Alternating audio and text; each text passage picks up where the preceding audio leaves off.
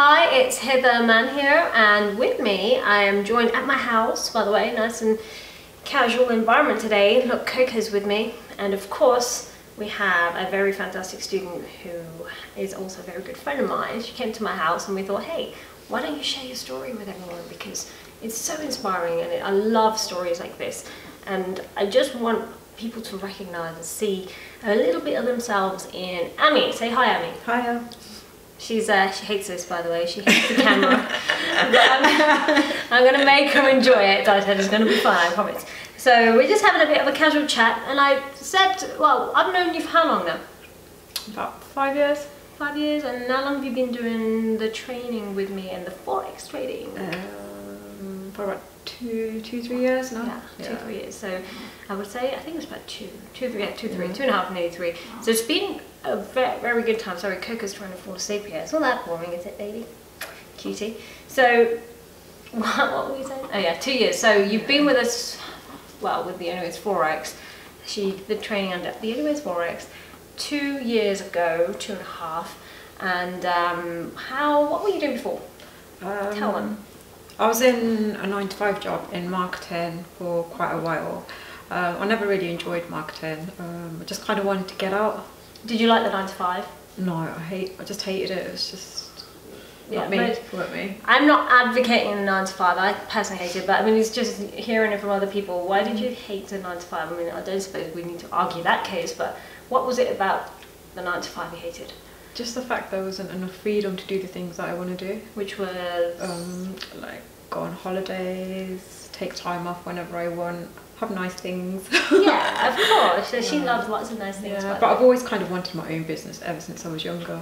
Yeah, that's interesting. But I just never took the leap, yeah. Okay, okay, and watch what happens next because when you did the training, and by the way, when she did Forex trading, had you ever, how did you even know about it and how did you like what, what made you even think of forex trading? Well um, a few of my friends were investing with you at the time. Um, I knew that they were making a lot of money off it so I kind of looked into it spoke to you about it um, and then kind of took it from there. She thought what? She's missing out on something because everybody else was you know having all this fun and she thought okay let's try it out did you ever how did you also mentioned have you ever done maths? Were you big in maths no, I got like a C in my GCSE, so no, I wasn't good exactly. It's very good to know because a lot of people worry. You see, the reason why I think it's so important for all the listeners to hear this is because I have so many questions asked to me uh, to from females, males, whatever, more so females, and hence I'm going to bring Amy in as an example for the female traders because she had never done for, uh, forex ever before. Mm. and she had she was never confident. She wasn't like a mathematician and she didn't really value her maths knowledge. So she she didn't have that as something that she would say yeah I'm really good at maths therefore I should be good at trading. So one you don't have to be good at maths at all would you say? No not at all no. Great. And then well how did you find the training then when you're actually learning it for the first time? Um, it's kind of like step to step, um, so it's quite easy to understand. Like you'd repeat everything if I didn't understand, and I could always call you if I didn't understand anything. So in that sense, it really helped me. Yeah. Because I had that kind of support there.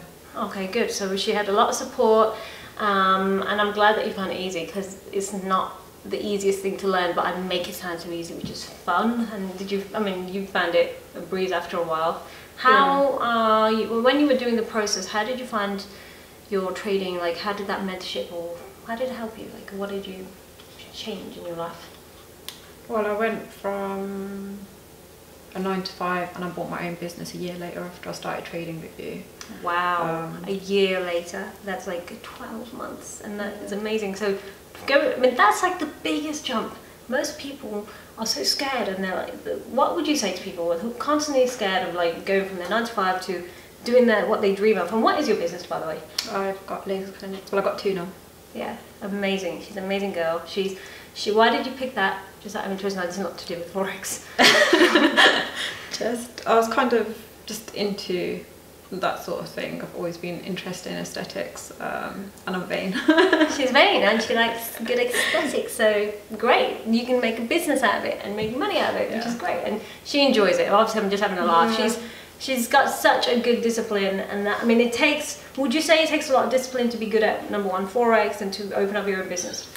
Yeah, I'm quite disciplined and I'm quite self motivated. So I wake up in the morning, I meditate at five o'clock in the morning, then I trade from around six to seven. So I trade an hour a day, put my risk management in my trading. So, you know, I don't look at it after I put it in. Wow. And then I go off to the gym, relax in the morning, and then I go to work After after midday. so I don't work before midday. exactly now how free is that life i mean that is amazing to have that kind of life and before that you were like stuck in an office commuting going in there and getting there for whatever half eight nine Yeah.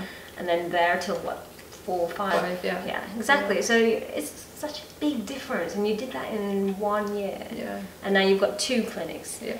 wow i'm amazed this is what i, I love about trade and how did trading help you get to that level With trading, it's a lot of it's to do with your mindset. yeah Um, so I applied that mindset to the rest of my life as well. yeah So that's where I kind of got. That's how I got to where I am right now. and how did the like the money side of it help with trading Obviously, the f- finance that I got back from trading allowed me to have a business. Yeah, that's a big deal because obviously, yeah, we can't underestimate. You need to have money to set up, but forex became a tool for you to create that Yeah. passive income and I guess set up what you always dreamt of. So it's a tool. So a lot of people think, okay, if I do forex, do I need to do it full time? Do I need to just like become like, okay, my title is now a forex trader? I mean, she admits herself that no one would look at her and think, okay, she knows how to trade the forex market. yeah, I mean that came from you, not me. No. But that's great. That's what I want people to do. So they, people think there's a stereotype to being a forex trader that you need to be a man in a suit or you need to have mathematical knowledge, you need to be into financial news and all this stuff prior to it. And Coco particularly knows. Sorry, Coco's trying to like get out of my lap. I think I'll let you. Let's sit here. Sit there, Coco. Okay? No. Maybe. Okay, he wants to take centre stage. He's not happy unless he gets centre stage. Oh, wow, beautiful.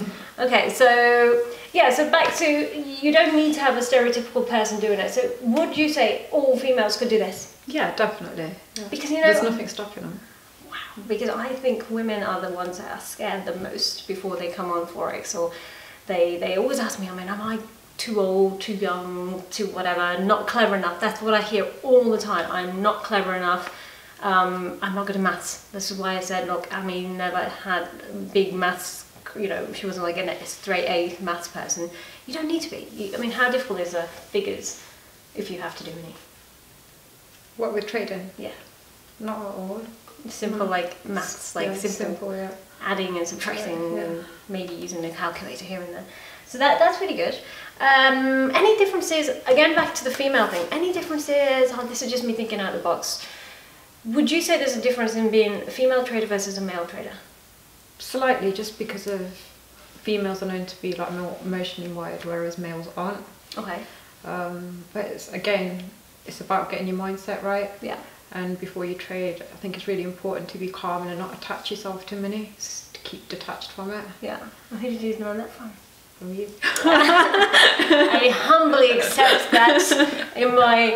I've, I mean, okay, you know, I see her as a friend because she's been amazing and she's been a friend first, but she's also learned. The, she went through the very strict teaching that I have.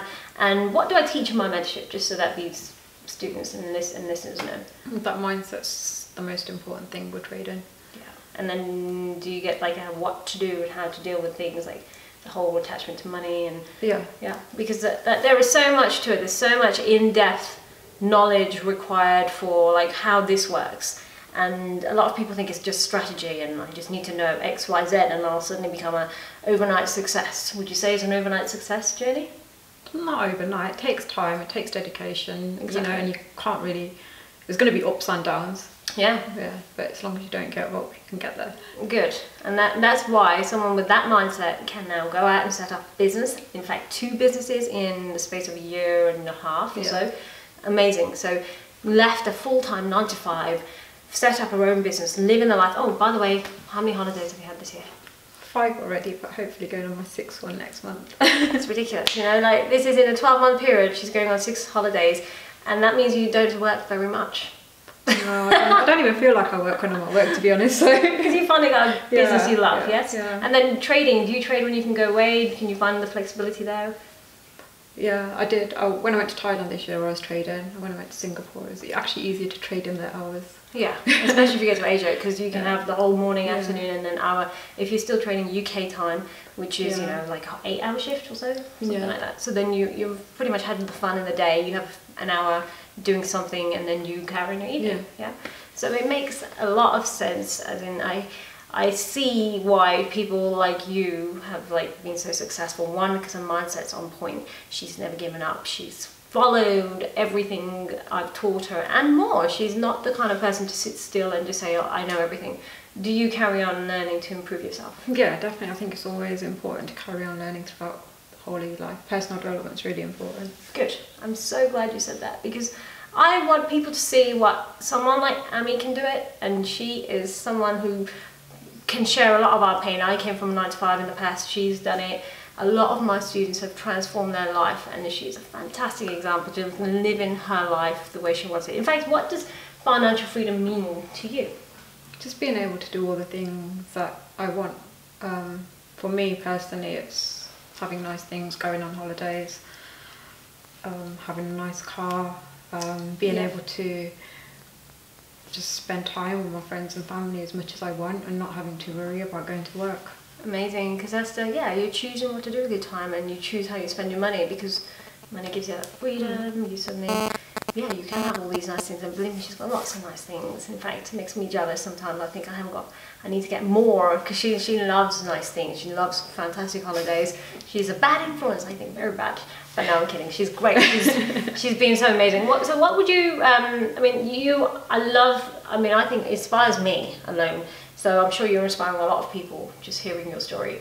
Because what would you tell someone who's like thinking about whether they should trade forex? I mean, uh, or if they just want to transform their life, what could their forex trading teach them?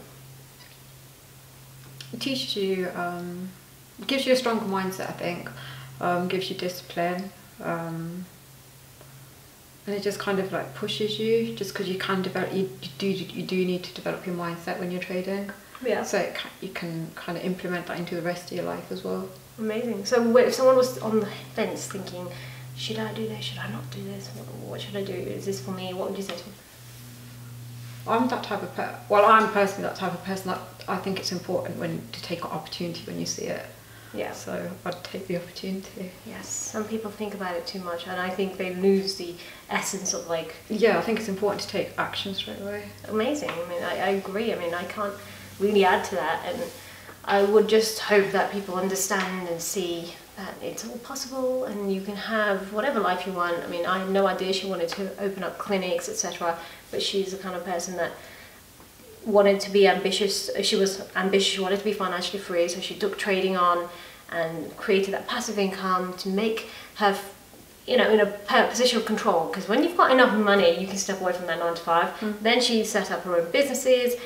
And the sky's the limit now. Now she's just living life the way I think that most people only dream of in the past. So amazing. I want to say well done again. And it's just the beginning. It's only been like two, two and a half years, and she's done so much, so, so much. And I hope to see some more and bigger achievements. I mean, she's only moving one way, which is that way. And uh, I hope it helped everyone. Do you think that anything else you want to add? Or Um, yeah, if you've got the opportunity, just take it. Just do it. Amazing. Thanks so much, Amy. You've been amazing. So I think Coco enjoyed that. Did you, Coco? Sleeping? okay.